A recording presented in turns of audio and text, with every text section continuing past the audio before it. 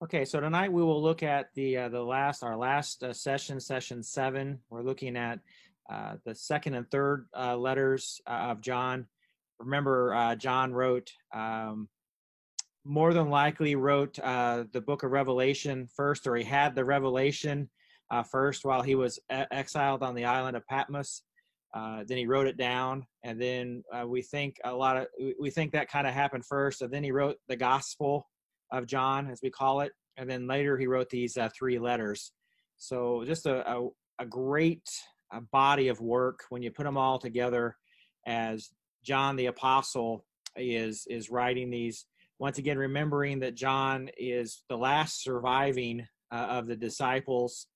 Uh, so therefore, a very important voice uh, in making sure that the truth of the Christian faith is, is spread correctly. So we'll see here in these. Um, so second, uh, second John, second and third John were never intended to stand alone. If we kind of get the idea that that these three letters travel together. Now they were they were not letters like you and I think of letters. They were scrolls, and it's quite possible that they were all on one scroll. Uh, but uh, they they didn't weren't intended to uh, travel alone. Uh, they went together as a set uh, and so, kind of cover letters would be a, maybe a way to say that. Uh, they introduced uh, Second John introduced uh, basically First John, and Third John kind of helped uh, with that a little bit too. They came with First John cover letters. here, they were personal greetings from the elder to each of the Christian communities of the province of Asia Minor that are receiving First, Second, and Third John so they were more of a personal first or second and third john uh, were more personal letters more so than first john the bigger letter was kind of intended to go towards many churches that were joined in the asia minor area. The chief uh, congregation in asia minor was ephesus as we've we've talked about. And then you had these other smaller uh, churches uh, nearby one way to think about that would be using our own kind of contemporary setting. Think about the uh, circuit churches uh, in Evansville of the LCMS. We have, I believe, 10 uh, in the kind of the greater uh, LCMS uh, area, the uh, 10 circuit churches. So imagine the letters, these three letters, being circulated from church to church. So we would receive these three letters. We'd understand it's from the elder John uh, we would read it together. Now, remember, these weren't huge churches; these were these were house churches, uh, meeting in people's homes. And so they would uh, get these letters. They would read, uh, probably read Second and Third John as cover letters, then read uh, John itself. And then after they were done reading it, uh, they would deliver it. A messenger or a traveler on a on a trip or whatever would deliver it to the next community. So imagine we got that here at, at, maybe at our church at St. Paul's. We read it together as a congregation, and then and then we had somebody um, whom whom we trust uh, would take this letter over to Concordia, and they would read it, and then maybe over to um, the geographically, I don't know what that would be, maybe up to Emmanuel or however. So that's kind of how these letters were uh, circulated, much like uh, the Pauline epistles. Uh, these letters were delivered uh, from church to church. Um, you know, he uses the word here, or the word used here for the elder. Notice that's the uh, got the direct. Uh, that's not the right word. I'll say direct object. That's not it. Definite article. Uh, the elder is used here. The Greek word there is presbyteros. Uh, you recognize uh, you recognize uh, presbyteros. Uh, yes, it does mean, in fact, uh, Presbyterian, where we get that Presbyterian if you know anything about the Presbyterian Church, you'll know that it's in, in many ways is a top-down kind of structure. You have a, a similar to the to the Roman Catholic to a degree, uh, but you kind of have a top-down hierarchy. And so a Presbyterian uh, or presbyter presbyterus was kind of the chief elder. It was a, a formal term to describe the the chief leader or teacher. Uh, you'll see this word used uh, in First uh, Timothy three uh, one, the Apostle Paul is describing uh, these uh, overseers. Uh, that's a, an interesting way to understand a pastor as an overseer. Somebody who is an overseer is somebody who sees over things and not just some of the small stuff, but the big stuff, just kind of making sure that the congregation is cared for as they need to be.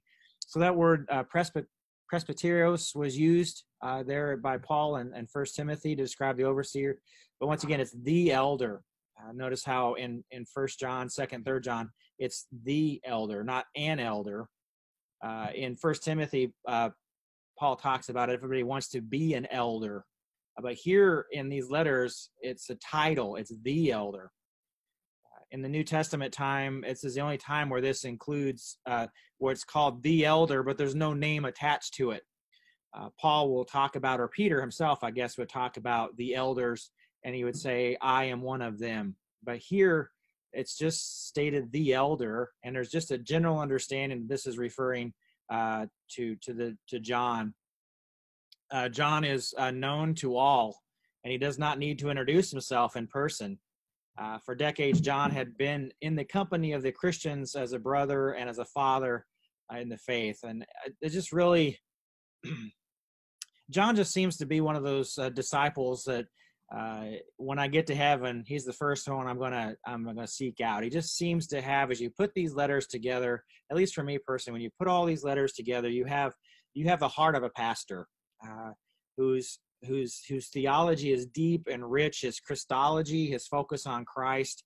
Uh, but he has such a heart uh, for the people he's sharing Christ with. And I'm not saying that the Apostle Paul didn't have that. Uh, Paul seemed to be uh, obviously very caring for his people, uh, but a little rough around the edges. Uh, maybe similar to a Martin Luther, who was definitely rough around the edges. But here, John just tends tends to have more of a, a tenderness as he's uh, sharing uh, sharing the truth. So he's well known in that area as the last surviving uh, disciple, as the elder. and there is a um, it's not when we hear the word elder today, we might think in terms of age, elderly. We use that expression uh, but it's not necessarily that. It's just chief. It's just the head head person, the most important or the most recognized in that position. Although uh, by this time, John is indeed uh, what we might say elderly. Uh, this is probably in the year 90, 85, 90, 95. Uh, so he's he's well advanced in age. He's definitely the elderly elder. Uh, but definitely that respect is given there for his leadership in the church. Second John introduces themes that will be expounded upon in First John. Uh, so once again, here in this very short letter, just a few verses, uh, John and, Second John uh, talks about truth. He talks about walking in the commandments, loving one another. That's all things that we've heard as we went through First John earlier. These are all uh, uh, really what. So once again, re- imagine cover letter comes first, or they're opening the scroll, and here's here's uh, here's this letter, which we now call Second John, basically giving a summary of here's about what here's what you're going to get in the longer letter. You're going to get a, a good discussion, John says, on truth, walking in the commandments, and loving one another. Uh, and then also this presence of false teachers, deceivers, and antichrist. So this would be maybe the table of contents eh, as a cover letter uh, that John is writing here in Second John. The recipients he says, To the chosen lady and her children, whom I love in the truth, and not I only, but also all who know the truth, because of the truth which lives in us and will be with us uh, forever. Uh, kind of a run on sentence where he uses the word truth uh, three times. Uh, so that's obviously important. But who is this uh, chosen lady and her children? A lot of different commentaries have a uh, variety of answers on that, this chosen lady. Some of I'm sorry, I can't really see that, but some would say maybe it's an individual lady and family. It's a specific person. He might have a specific person in mind. Uh, there's there's possibility uh, to that. Uh, the w- women played a very important and prominent role in the early church. Uh, you think of Eunice and Lois. You might remember them as the grandmother and the mother to uh, Timothy. they're given prominent role in, in, in letter of First Timothy as the ones who brought Timothy to faith and kind of stoked the fires of that faith. Uh, then there's Priscilla. You remember or you know the name Priscilla, closely connected to Aquila. They were uh, tent makers in Ephesus uh, when uh, Paul was traveling through. So Priscilla. Lydia, you might remember her. Um, I forgot. I think she was in Philippi. She was the one lady that would go down. They would go in those days. What would happen when the believers would go to the synagogue and they would hear the word, the Old Testament word, and then after the synagogue, a lot of times they would travel to a body of water, like a, a river uh, nearby, and and I can't remember exactly the reference, uh, but Lydia is found, and she's a seller of purple. Well, that uh, really means uh, she's pretty wealthy because purple was a pretty rare uh, color, very expensive uh, color. And so you have Lydia mentioned there, and there's other ladies that are mentioned. So it wouldn't be uncommon, or it wouldn't be kind of out of the ordinary for for maybe the disciple to be writing, or uh, John the apostle to be writing to a specific woman and her children. Somebody even spec- speculated uh, that, uh, and I don't know if I buy this or not, but it's it's interesting, makes for an interesting theory that he might be writing to a very important chosen lady uh, in Ephesus. And as we talked about, I believe several weeks ago, uh, when we were talking about kind of the history of these letters, uh, who would be that very specific, important chosen lady that was very close to the Apostle John? You hopefully remember uh, that would be Mary, the mother of the Lord. Remember, Mary was at the foot of the cross, was given uh, charge to John. John was to take care of her. We know that from that time on, John took Mary into his home. Uh, and so it could be quite possible that, that John is writing this letter to Mother Mary and, and her children. But that seems a little far fetched, but I can't rule it out. Uh, but generally speaking, um, uh, generally speaking, most historic, most of the uh, uh, scholars tend to see this as a kind of a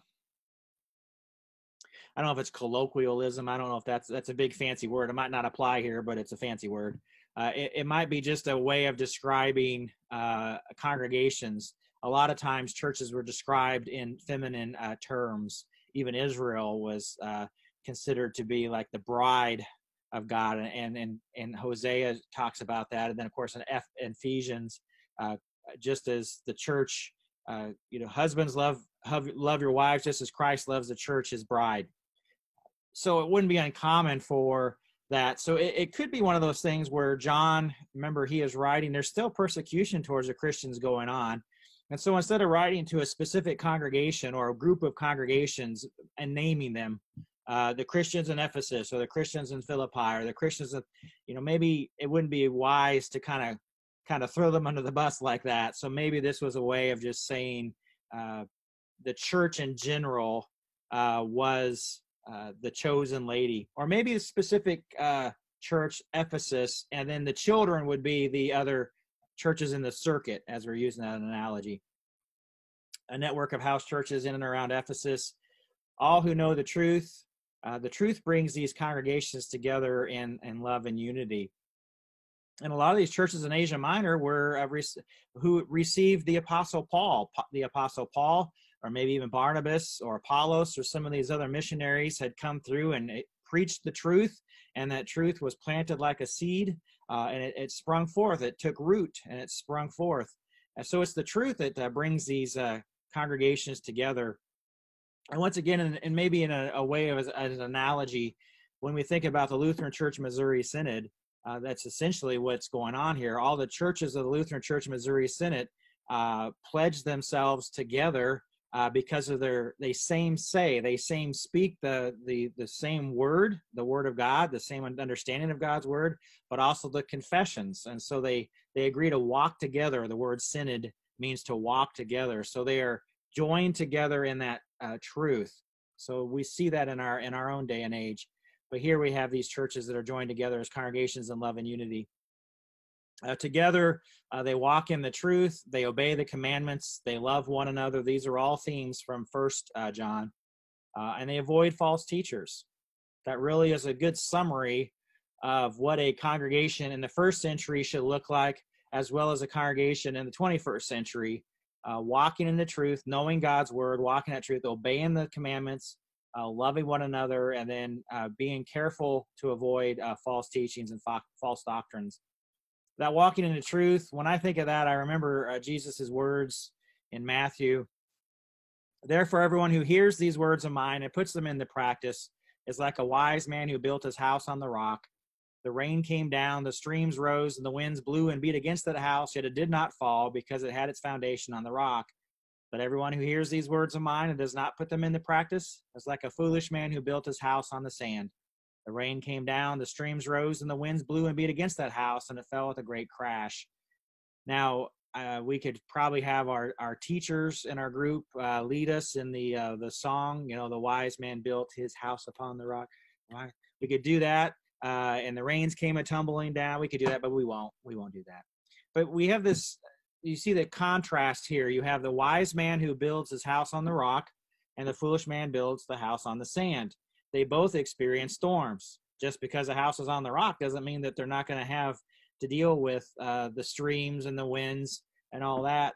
Uh, so both houses find themselves in, in dangerous positions, but only one house is able to stand the test of time, be able to weather the storm. Uh, and that, of course, is the house built on on the rock. The house on the sand falls with a great crash. So Jesus tells us a mini uh, parable, and then he explains it later. But he, he he basically says, everyone who hears these words of mine and puts them into practice. What does it mean by putting them into practice? Well, uh, he means obeying them. It's not just hearing the word, but actually doing the word, uh, putting them into practice, obeying the commandments. Uh, and, and that's what it means to be a disciple of Christ those who do this uh, show themselves to be built on the solid rock. Uh, how does how does it? I kind of was thinking this through a little bit today when I was putting some of this together. But how does a sand Christian view the Word of God?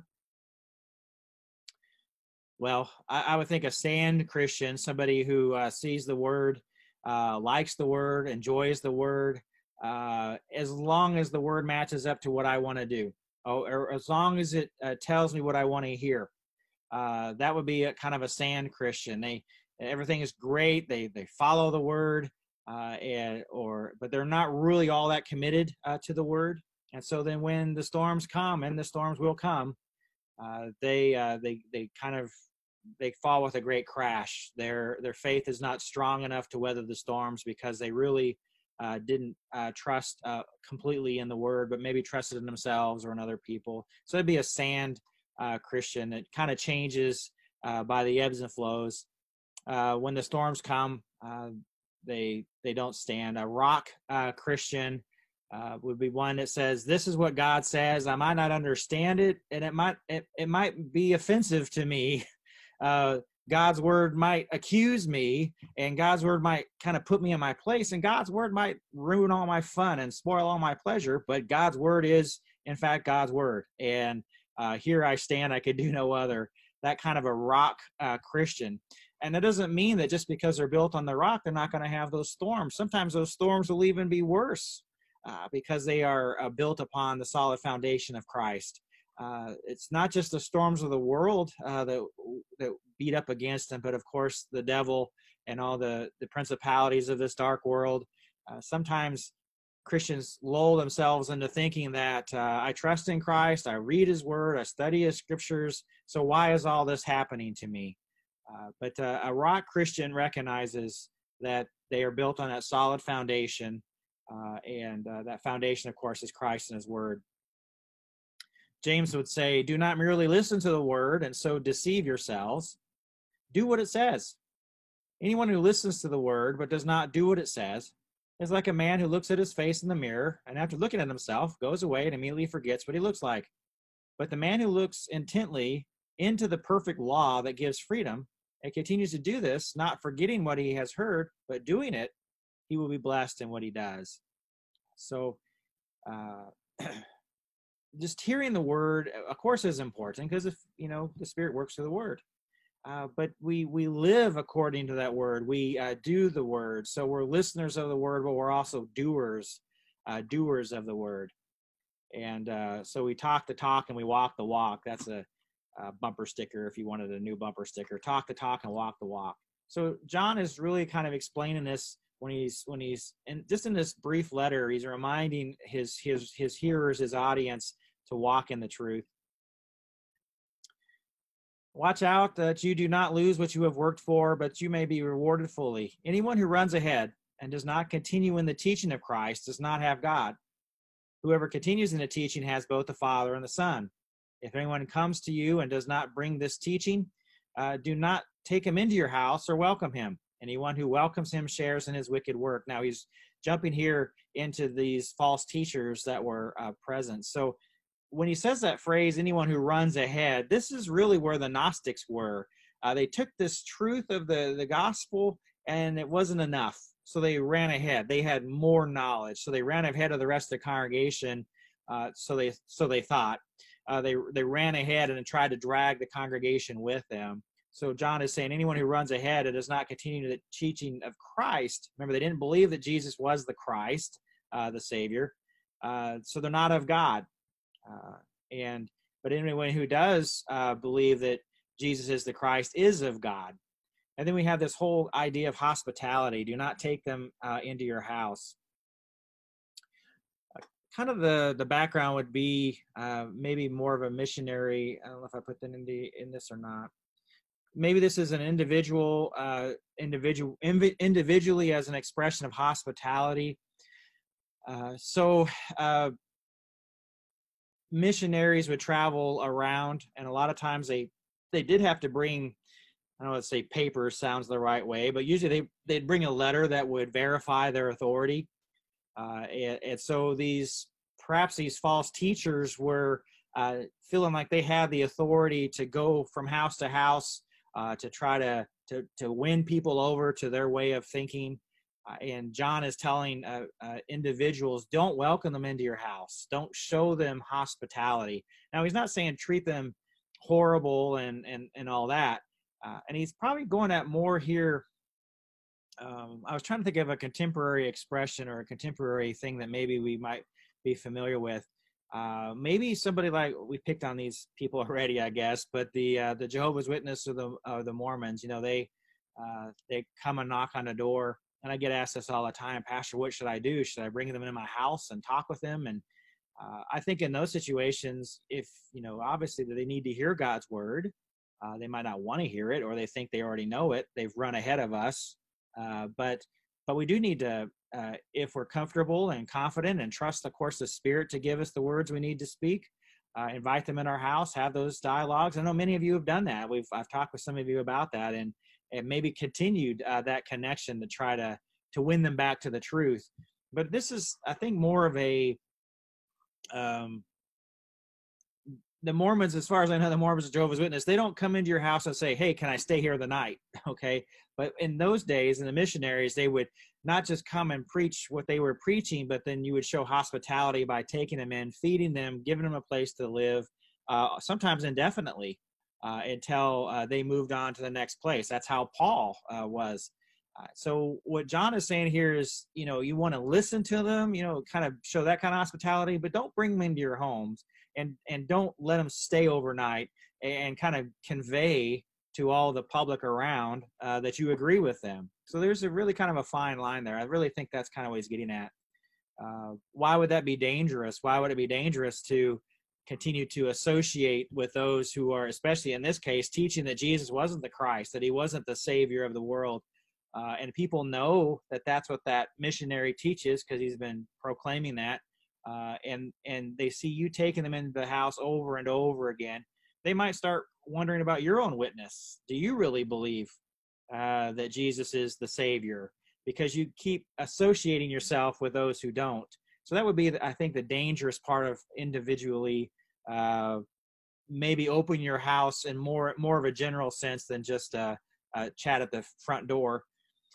But I think probably more than likely, this is more of a corporate kind of idea into your house, meaning your church house. Remember, they met in homes. So uh, allowing these false teachers, these false missionaries, uh, to come in and to have an opportunity to preach uh, in your house church or to teach uh, in your house church. Uh, imagine what would happen if we were to invite not a former Jehovah's Witness or a former Church of Latter Day Saints member, but a very active member uh, who was who was not interested in changing their hearts or their minds, and we were to invite them in uh, to our church uh, repeatedly uh, to teach our uh, our Sunday morning Bible study or something like that, or maybe even to stand in a pulpit. We would never do that, right? But but this is what he's warning them against, because when you do that corporately, then you really are uh, confusing the not just uh, the people in the pews and have pews back in those days, but you're not just confusing the people that are there. What do we really believe? Uh, but you're also confusing uh, the people on the outside of the church who are trying to figure out what do the Christian, what do Christians really believe? We don't think this guy or this guy teaches different. Uh, so what you do publicly as a church, what we do publicly as a church, is is very important, and that's really what he's trying to get at here. Um, Christians are always to be concerned about what we say and do publicly, both individually uh, and corporately. Uh, and then that's not always easy. Sometimes the church has to say no uh, to certain things when uh, when others say yes, and it's hard for us sometimes as we don't like to be in that position. Uh, but uh, it's important that we remember that what we do uh, what we say and do gives a witness. It speaks uh, to what we believe. It flows from our doctrine and our theology. So we always have to be careful uh, what we're doing. Excuse me. Truth of God's word, including the gospel, can be comp- compromised to the outside and inside observers. We want to make everything clear. We don't want to make things confusing uh, it's hard enough. We want to we want to make sure that the gospel, the truth of God's word, is clearly articulated without any confusion, uh, and so that's why it's important to be careful who we welcome. So I guess that's uh, Second John. Now uh, Third John takes just a little bit of a different uh, approach. It's not written to a group of people, but rather written to uh, a, one specific person named Gaius. Uh, John writes here to my dear friend Gaius, whom I love in the truth. There's that word truth again. Um, agapeto, you you under you know the word agape. Agapeto, a dear friend, might be translated beloved.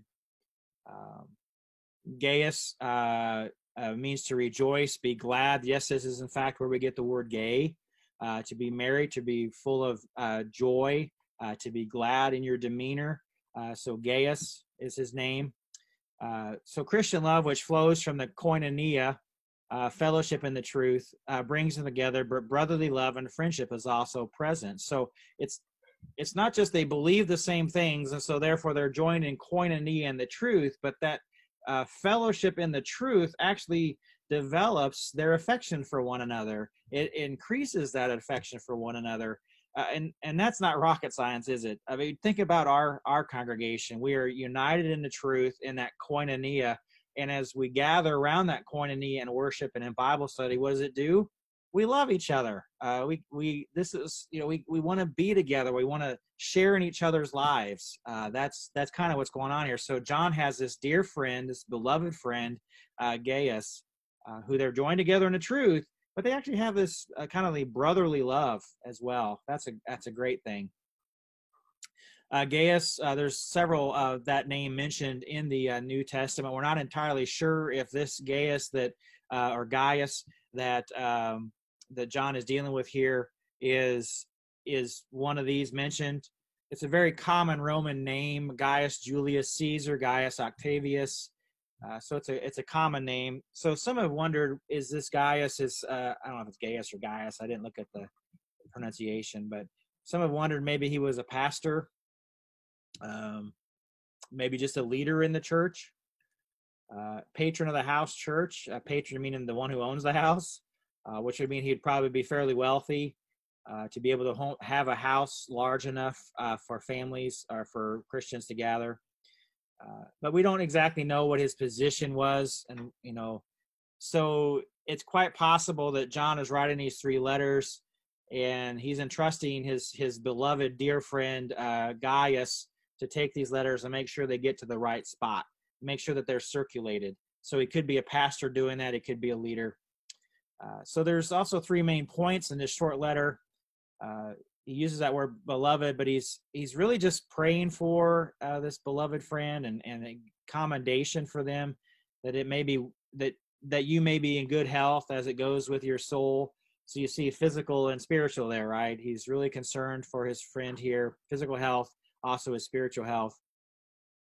He's commending his friend uh, for continuing to walk in, in the truth. Now that wouldn't be that wouldn't be necessarily easy to do uh, to walk in the truth, especially with all this uh, division already happening within the church. Uh, you, uh, just just the division going on. It's not easy to to walk in the truth. So there's a commendation here. You know, keep it up. I'm so uh, glad to know that you are staying in this truth. Um, truth is not just head knowledge. Truth is not just believed. Truth is lived. It's what we pattern our life after. It's how we conduct ourselves. It's our habit, our lifestyle. Uh, so this all kind of fits together when we looked at uh, First John.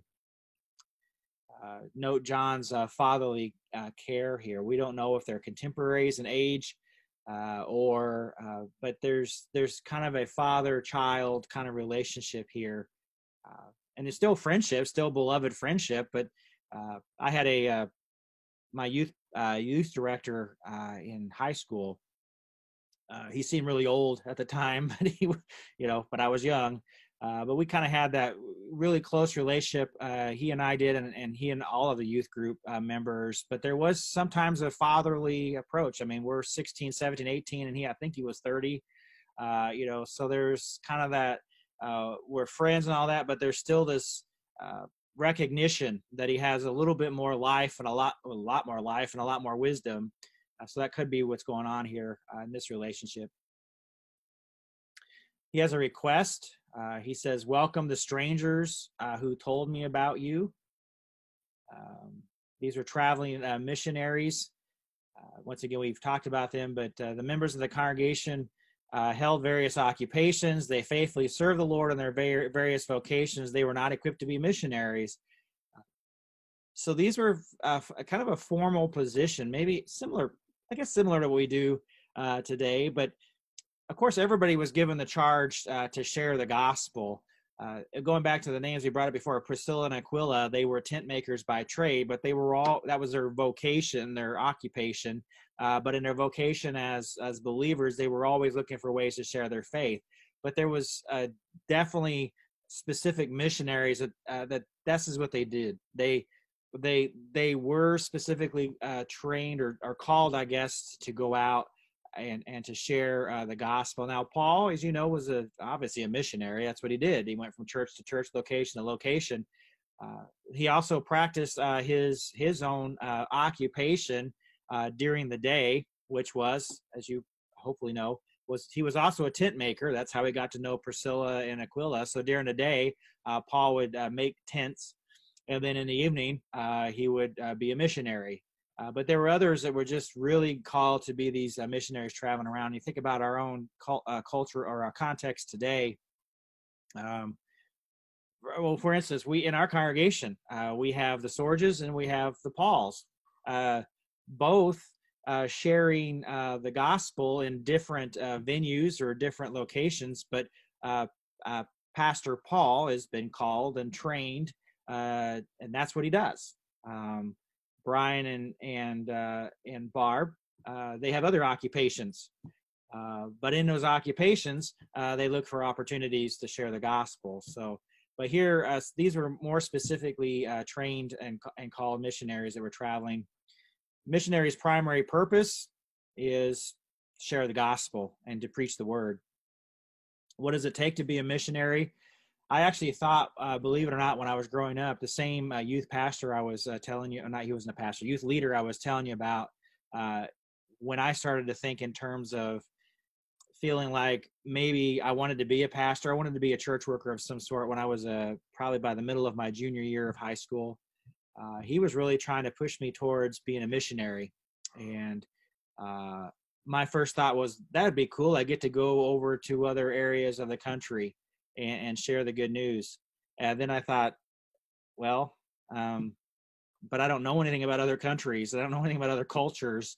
Uh, and it, it was too, I don't want to say it this way, but it was too scary for me to think in terms of uh, being in some other location. Uh, so it just really wasn't something that um, I felt called to do. Uh, and when I got to college, several of my friends, uh, a couple of them we're still friends with, uh, I was talking to him uh, our freshman year of college, and there was a big difference. He wanted to be a pastor, like I wanted to be a pastor, but he was absolutely felt certain that he was going to be a missionary. There was just a difference in how uh, we felt the Lord was leading us.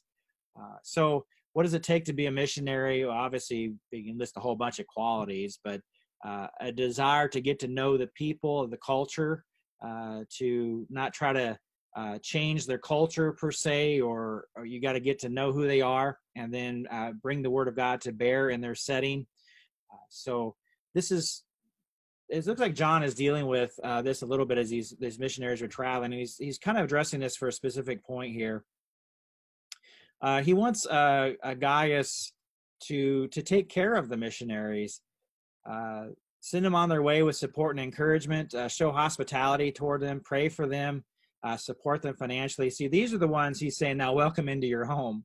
You know, don't just stand at the door with the door open like this. You know, like we would do with the Witness or the Mormons. Don't just stand with the door, but open the door, bring them in, because they they've been entrusted with this truth bring them in uh, show hospitality pray for them and in, encourage your people that are gathered uh, to send them on financially so they can go to the next stop the next city uh, with this good news and defend them uh, and well, well that's kind of strange what would we have to defend them from well uh, because there was conflict in the churches already uh, it, here in third john we we see this guy named Diotrephes. I don't even say. I don't think I'm saying that right, but Diof, Diotrephes. Well, you get it. You can see it. All right.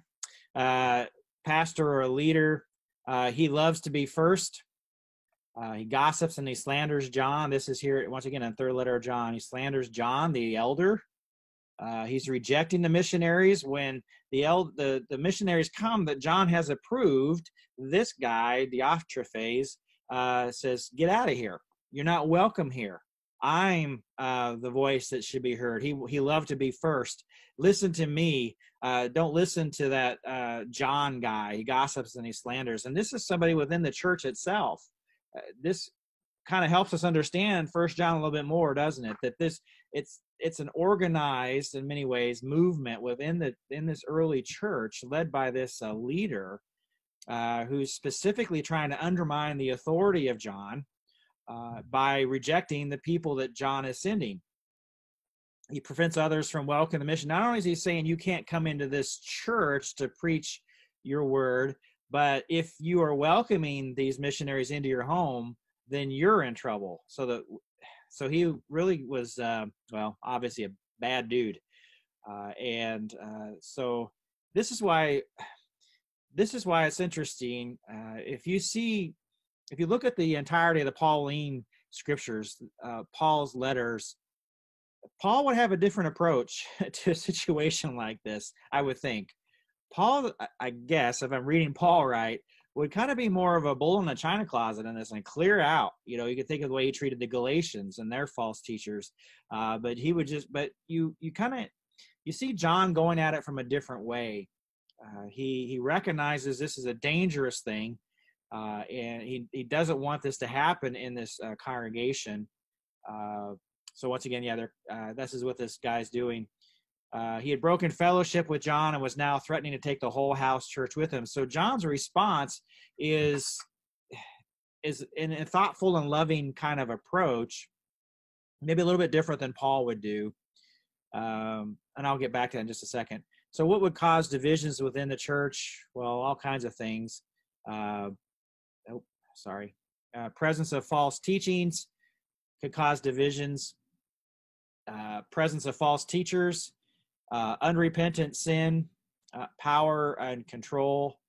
Uh, I think in our, um, I think all those things, of course, could be present in the modern day Christian church, and we probably could all cite examples of that, not just in the uh, other church bodies out there, but even within our own beloved uh, church body but that individual uh, pursuit of power and control that is a real could be a real struggle within the local congregation uh, and and every congregation kind of deals with that in, in some ways. Uh, who has the authority? Who has the the power? Who who who has the control? Those are all words that are sinful uh, and because they're not used in the right uh, context. This is indeed uh, supposed to be a, a, partnership in the gospel where we, body of Christ analogy, we all have a specific role uh, to play. Uh, and not one part is more important than another. And keeping things in that proper context is important. But some congregations lose sight of that, and there's a wrestling for uh, for power uh, to be able to take the congregation in a certain direction, and another group comes along and says we want to go this direction, and then there's conflict. And what happens a lot when there's a church in conflict, uh, what's not happening? The gospel is not being proclaimed. Uh, the truth of God's word is not being honored the commandments are not being kept. Uh, there's uh, all kinds of problems. So, what's really going on when there's a quest for power and control? What's really going on? Well, you know, the devil is going on. Uh, this is the easiest way for him to stop uh, the advancement of the gospel, uh, to stop it from being proclaimed, is to get the people who who are joined together in that gospel and that koinonia to get them to fracture, uh, to divide and conquer, to pull them apart from each other. So this is apparently already happening in the early church, and John has got to deal with this. Uh, did John ever deal with the person John, the disciple John, the apostle John, ever deal with that issue of power and control? Can you think of anything from the Gospels? yeah, there's a couple of evidence or uh, examples of this. Um, John and James, uh, their mother, had pulled Jesus aside. And remember what mom said? Dear mommy, mommy said, "Hey, uh, can I get my my boys to sit at your right hand and your left hand?" Well, what is that a request for? That's a request for power and control. Uh, that's all that was. Uh, they wanted positions.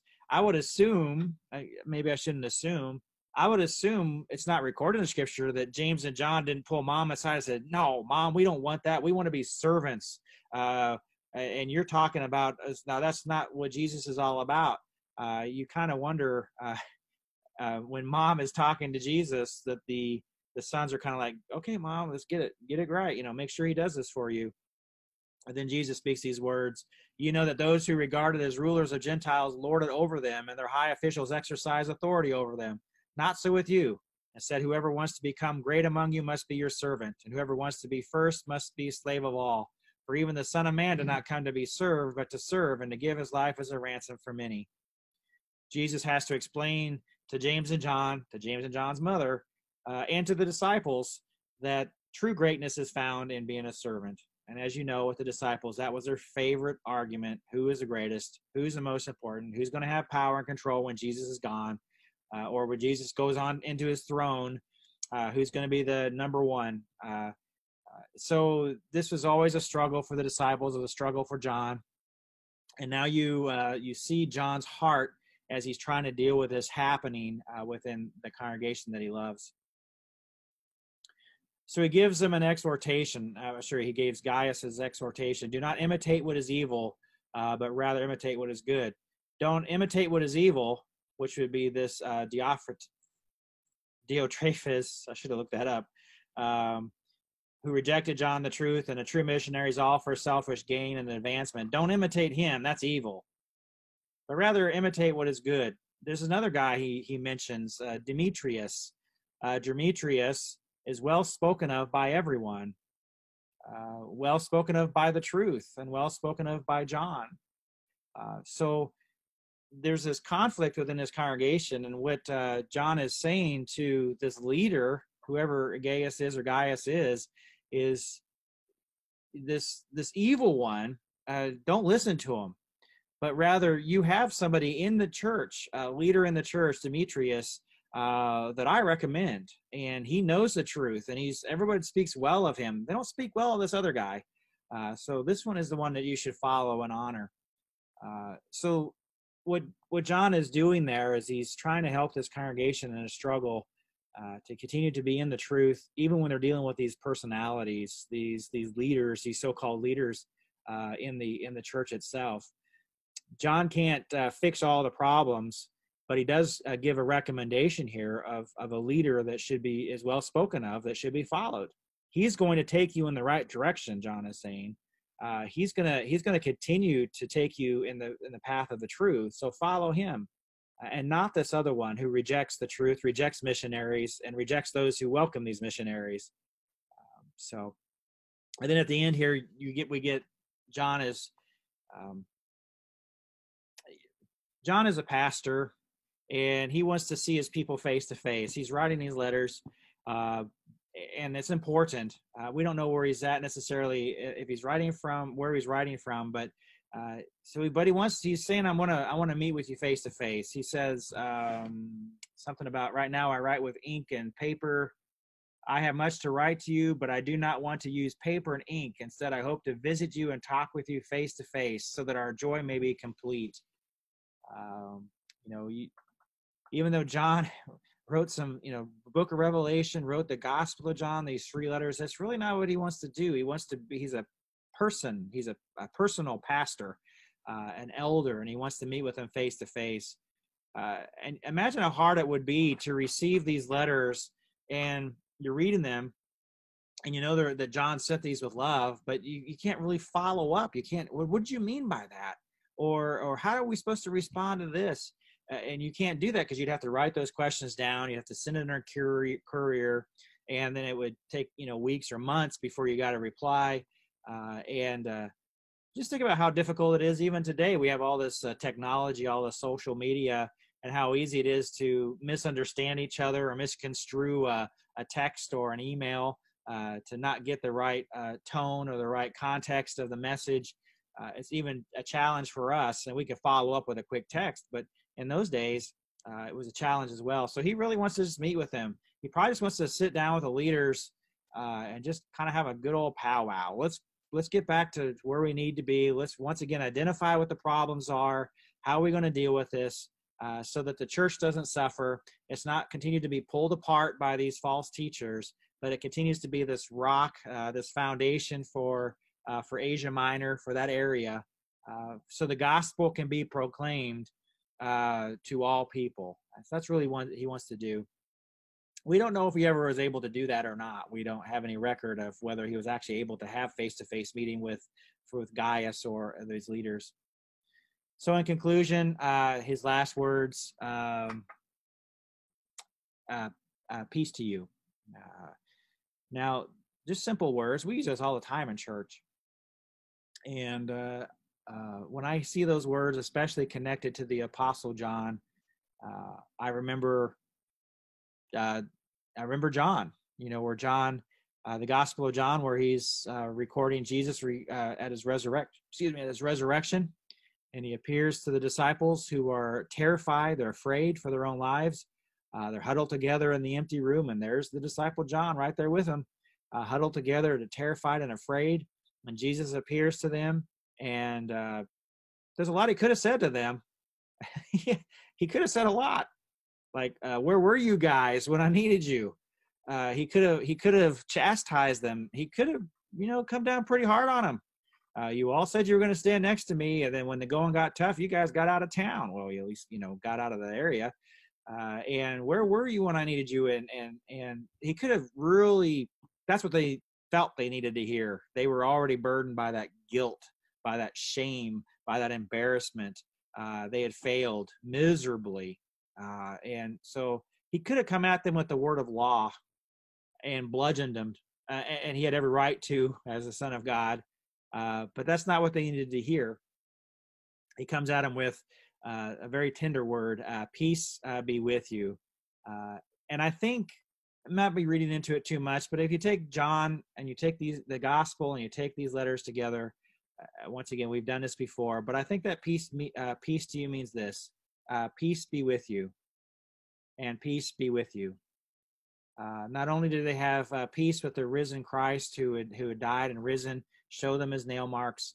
Uh, they their their relationship had been changed uh, because of Jesus' death and resurrection. They were not at war with God. They were not his enemies. Uh, they were at peace with God. But it also brought peace in their relationships together as disciples, and and that peace was uh, so important. And so here, John, as he's writing this tender letter, these three tender letters uh, to the congregation uh, that he loves, his beloved children, he's writing this letter. He really just uh, summarizes it by just reminding them, hey, "Peace be with you uh, have this peace in Christ, uh, the one who's died and risen for you, and be at peace uh, with one another um, as you seek uh, to follow Christ and, and share that truth with the world.